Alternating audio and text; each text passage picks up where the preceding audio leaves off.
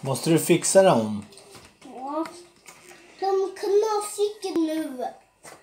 Vad betyder knasig? Mm, Knasiga fötter. Ja, Vad betyder knasiga fötter? Och de gula? Nej, de är vita. Men dina fötter är ju bruna.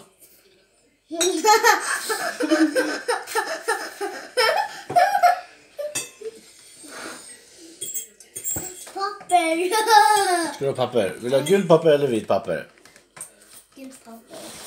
Tack. Jag har samma. Jag har samma. Varför ska man ha papper? Det luktar gott. Det luktar gott det gula pappret. Det luktar lite parfym. Gammal parfym. Hundra år. Mamma, jag med gurka. Hon vet en butik med gammalt papper. Åh, med gurka. Vill du ha dricka eller gurka? Åh, åh, åh, åh. Den som bodde här förr ha dricka eller säkert gurka? visste typ en affär som Dricka. sålde sånt. Kushi. Den där pappret. Ja. Hon bara, köp tusen paket. I frysen. Hårda papper. En och en och en.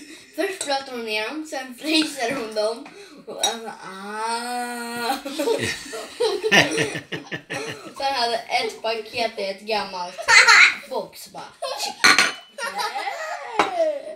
För att torka Det är allting galen. Hon var galen den här tanten tror jag. Vilken tant?